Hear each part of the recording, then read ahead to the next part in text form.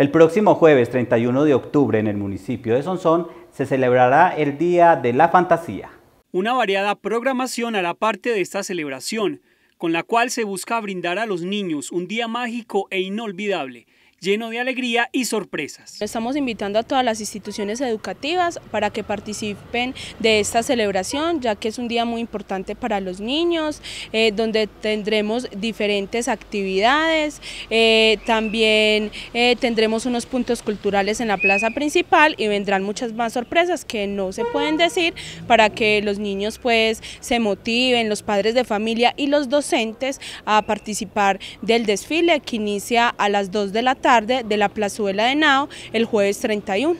El objetivo de celebrar el Día de la Fantasía es darle a esta fecha una nueva connotación, donde los niños sean realmente sus protagonistas. Este año y el año pasado siempre se ha tenido pues como esa percepción, no día de Halloween ni de los brujitos, sino la celebración del Día de la Fantasía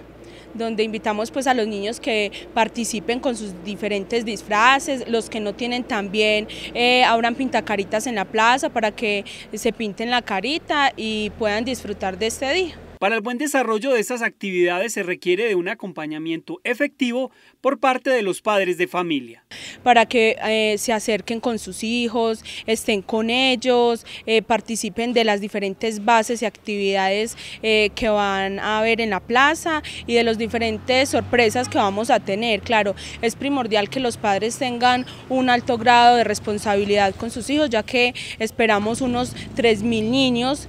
si no son más también, las veredas y de la zona urbana del municipio. Entonces sí, eh, una recomendación a los padres, tener mucho cuidado con sus hijos, eh, salir con ellos y estar pues súper pendiente de ellos. Esta celebración tiene entre sus objetivos resaltar el papel de la primera infancia en la sociedad, promover sus derechos y desarrollar actividades para su bienestar.